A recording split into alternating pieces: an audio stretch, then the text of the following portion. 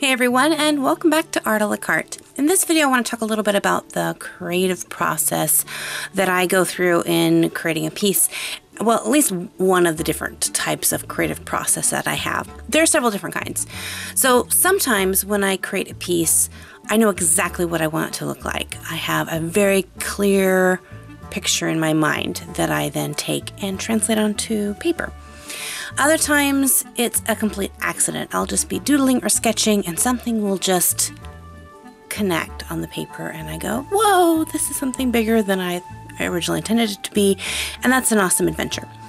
The hardest ones for me are the ones that I have a really good theme or partial idea and it's really strong, but I can't see the full picture. Like I can't see exactly how the pose is. Maybe I'll see some element of the picture.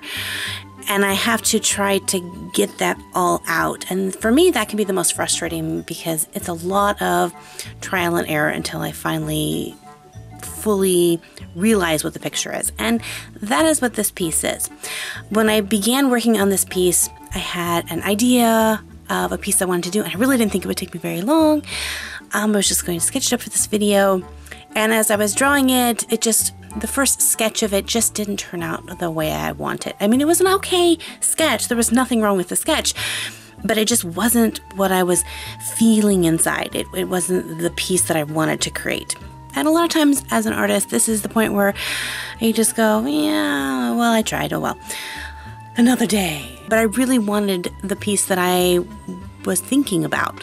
I didn't want this piece. So I decided to change the, the topic of this video as I was creating and recreating and recreating this piece to, to more to be a video more about persevering through a piece and then give you some ideas and some hints and tips on how to tackle a piece that maybe isn't coming together the way you want it. So feel free to join me on this journey I had in creating a piece that um, ironically is called Woodland Muse.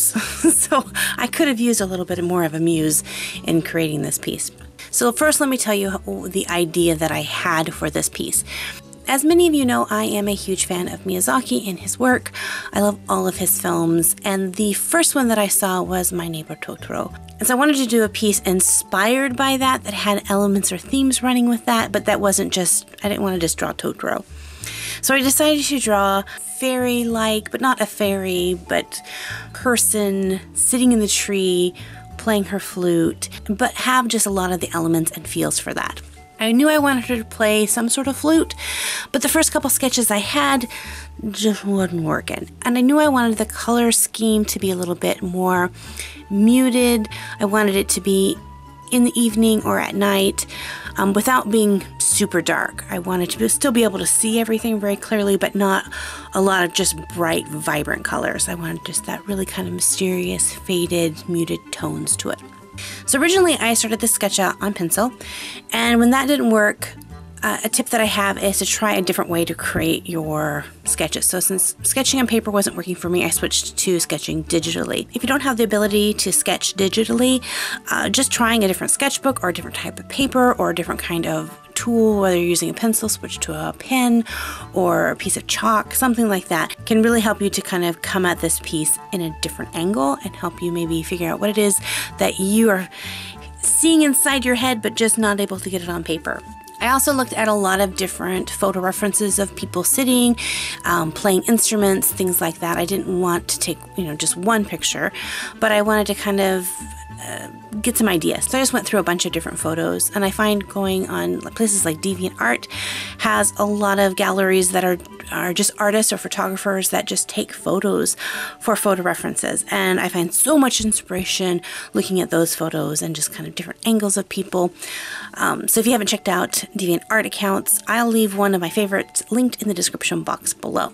Another tip I have is changing the direction. So if you have a character facing left, switch them around so they're facing right. Just simply um, pulling them in a different direction can sometimes help you to find the angle that you want. Um, I did it earlier in this piece and you just saw really briefly. I also created what are called thumbnails, which sometimes when you're creating a piece, you're just so worried about getting it perfect that you lose the feeling for it. So making a really small, scribbly sketch off to the side, just kind of blocking in the shapes can sometimes help trigger the inspiration that you need or the position or the angle or whatever it is that you're looking for. It can help trigger that. So finally, I think I did about four or five different sketches before I finally came up with the one I wanted. And because I was doing this digitally, I was kind of thinking, well, shall I color it digitally? I have just finished my last piece digitally and I kind of wanted not, I didn't want to do another digital piece right away. So I decided that I wanted to go ahead and transfer that over and do it traditionally.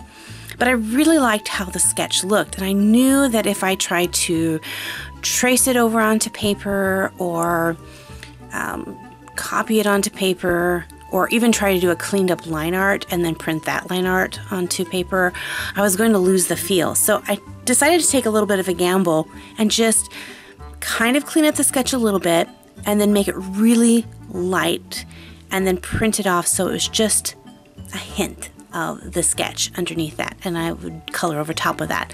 I wasn't sure if that would turn out well or if you, it would be too messy or if, you know, I was taking a little bit of a gamble, but that's what art is all about is when you think, oh, I wonder what would happen if you did this and this to something. You just have to do it and figure out if it works or not.